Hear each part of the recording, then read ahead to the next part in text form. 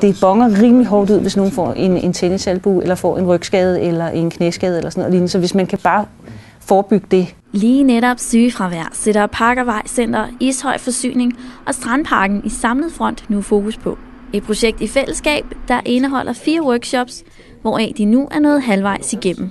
De to første workshops, vi har haft, de har netop fokuseret omkring trivsel og ergonomi og sundhed. Og vi har også haft et sundhedstjek, og det er der, vi er nået til indtil nu. Det kan godt være, at man går rundt og tror, at man er i god form og man spiser sundt, ikke? men øh, når man så får målt, hvordan de faktiske ting er, så, så er det lidt en øjenåbner. Blandt de ansatte er projektet blevet modtaget positivt. Folk har været glade for det og, og, og synes, de har fået noget ud af det, men det er meget forskelligt, hvad folk har fået ud af det. Nogle har fået noget ud af det omkring øh, motionen, og andre har fået en aha-oplevelse til øh, sundhedstjekket.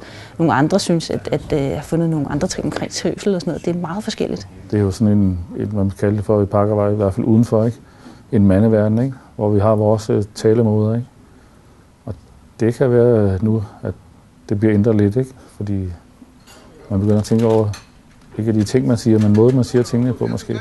Undersøgelsen har været med til at give nye perspektiver på både den psykiske og fysiske del af arbejdslivet. Det har været en øjenåbner for nogen i hvert fald, ikke? eller for de fleste, tror jeg faktisk. Ikke? Også ikke kun dem, der har haft det dårligt, men også dem, der, der er i god form og ikke fejler noget, eller har andre problemer. Det har jo altid været et skulderklap, ikke? Sundhed og kost er kommet på dagsordenen. Jeg kan mærke, at folk er bevidst om, at, at, øh, at, at man, skal, man skal være mere øh, sund. Der er lidt færre øh, mødebasser. Helt sikkert.